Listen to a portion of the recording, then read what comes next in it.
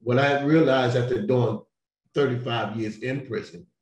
food disrupt everything I knew and understood about human beings. It shifted me to even begin to look at the value of my past experience and the value of me and those that was around me. We, uh, unbeknown to myself, because of the way in which that we did eat, I begin to see myself and many people around me as subhuman. Now, that's not a conscious design, but living in that environment for so long, being trained like that, it helps us, help me to understand how to relate to food today and understand how to use food to restore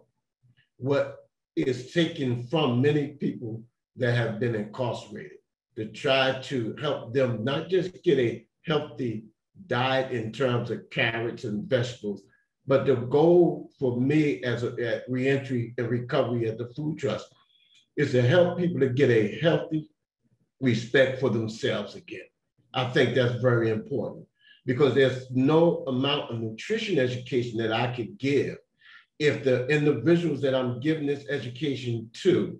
don't feel worthy not only of the education, but worthy of a better quality of food, which represents a better quality of life. Prison life disrupts the very value of human beings. It destroys a human being to the point that when we release these individuals from prison, they come back to society, and we'll talk about that a little bit later, but they come back more damaged than we was initially. And this is something that we're gonna have to deal with.